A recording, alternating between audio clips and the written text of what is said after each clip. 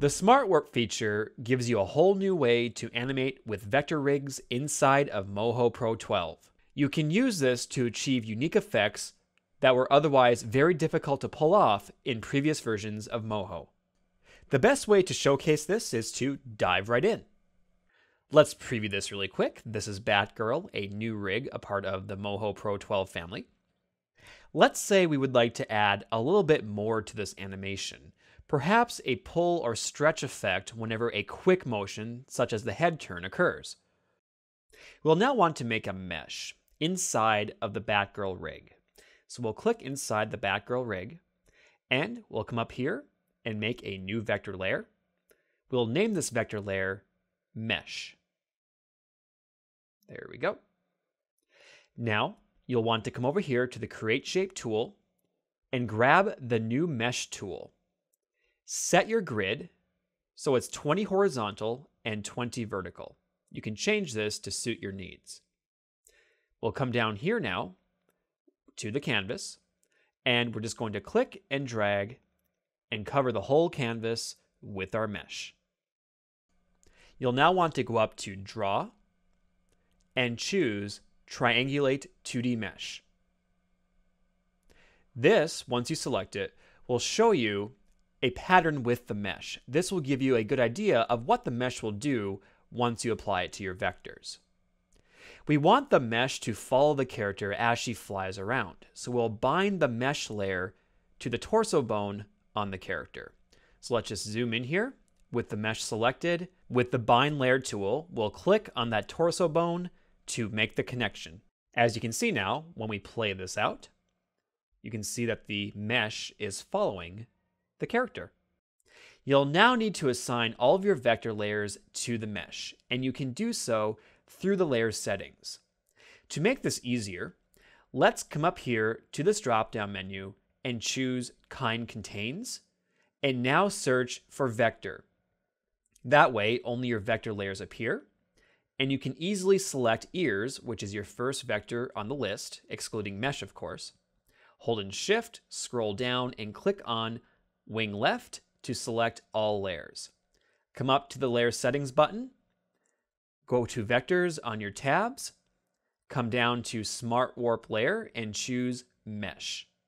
Also make sure to copy all vector settings to other selected layers. And once you're good, you can click OK or hit enter.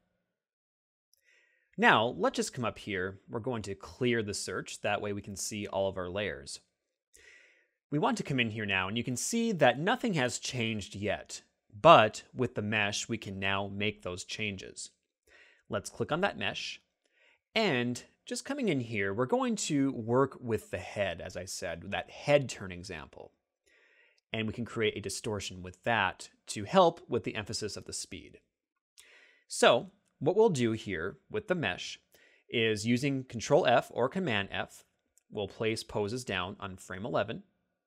And then we'll advance to, let's say, frame 14. You're going to take the transform points tool and you can come in here now and start moving the points around.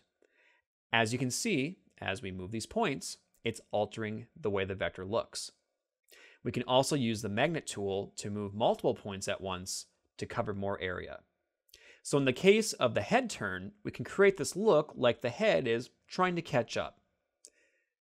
Come back here and you can kind of see how this looks. We'll insert a keyframe there to create the effect that's snapping so that it goes away. Just copy those first keyframes and paste them. You can make further modifications as you go. Get even more of a exaggerated head turn look. And as you can see, there's really limitless possibilities when it comes to working with these meshes. We'll insert another pose here with Command F, and let's just work with the skirt and the leg. We can come in here and try to pull those things out as she makes this movement. And again, these are very subtle changes we're making. But once we're good there, once again, we'll just copy these frames and paste them over here. That way, we can create the effect. It's snapping back and forth once again. So it kind of goes like that and then like that. And you have this sort of motion blur effect taking place, a cartoon motion blur effect with the fact that the head is trying to catch up to the rest of the body. Here is one more example. This time the mesh has been placed outside of the rig. That way it won't fall along with the character. Let's hide the character as well as the mesh. What I'm going to do here is just grab the magnet tool and come in and start creating a distortion within the mesh. Now we're bowing it out a little bit. What will happen here, which you'll see in a moment, is when the character passes through this part of the mesh, they will become distorted. So imagine, if you will, if you have a scene, let's say you have a glass sitting on a counter, the character enters, they could appear distorted as the camera views the character through the glass, just as one example. Let's take a look now. We can turn the character back on and just view this. And as you can see, as the character passes through that part of the mesh, she becomes distorted. Adding some scenery to this, you could see how that could look pretty cool. The new Smart Warp feature opens up new possibilities for any type of animation style. For more information, tutorials, and to purchase Moho, visit moho.smithmicro.com.